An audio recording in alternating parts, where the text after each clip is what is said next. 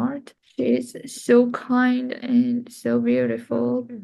I'm so lucky to have a sister like her. Vida moved to the U.S. from Iran 10 years ago with the dream of becoming a scientist. She always cared about other rather than herself. She landed her dream job as a lead scientist at GE, and she got sick. After enduring months of tests and visits to the hospital, she was diagnosed with stage 4 colon cancer. She got worse and worse. She had problem with um, breathing, um, with eating, um, with everything, and then um, nothing could help her. After three rounds of chemotherapy, it wasn't working. After a while, you get numb.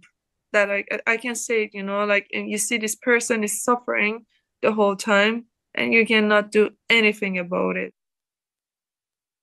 With her condition worsening, her parents living in Iran applied for emergency visas. Vida's mom's been by her daughter's side since the end of November and her dad's application was denied. It's been 10 years since he's seen his daughter.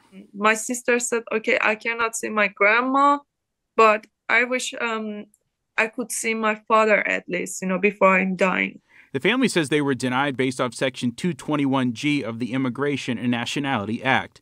It says the emergency visa application did not meet the standards of the consular officer where the application was submitted and offered no more details her friends and family now coming together to make sure her final wish becomes true, pleading with the State Department to reverse the decision. It's an emergency. I mean, for God's sake, my dad, he's losing his daughter. He just wants to see his daughter and he, go, he wants to go back.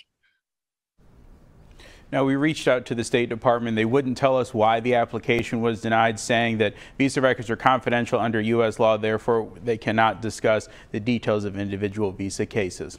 Kyle. All right, Tyler, thank you for bringing us that story. Now, it took the family a month to have the original visa application process. Vida's friends and family are also taking to social media right now, trying to get her dad here to the United States using the hashtag HelpVidaReunite. Sure, you could stop watching now, but let's be honest, you want to see more. So click some of those links, or better yet, go ahead and tap subscribe. That way you'll catch more content from Local 12.